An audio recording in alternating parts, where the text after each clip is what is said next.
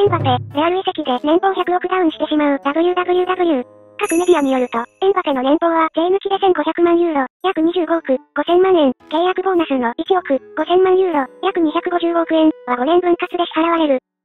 PSG 時代の年俸7500万ユーロ、約127億5000万円からは大幅ダウンになるという。ただスペイン紙、ムンド・デポルテボによると、レアルは肖像権について常に50%としてきた。と指摘。しかし、エムバペには例外として肖像権の80%を与える、と報道した。100億ダウンしてもバロンドールと CL 優勝したいんだろう。100億ダウンしてもまだ25億もらえるの異次元すぎる。エンバペならユニフォームの売り上げもやばそう。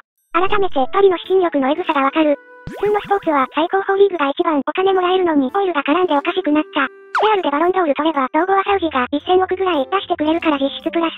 リーガもリーグアンみたいに一応リーグになってつまらない。エンバペママは激起こしてそうで草。そもそもパリの年俸が異常すぎただけ。エンバペからしたら100億は100万くらいの価値だろう。パリで今シーズン44ゴールしたようにリーガでも暴れてくれ。金より名誉を選んだのナイス。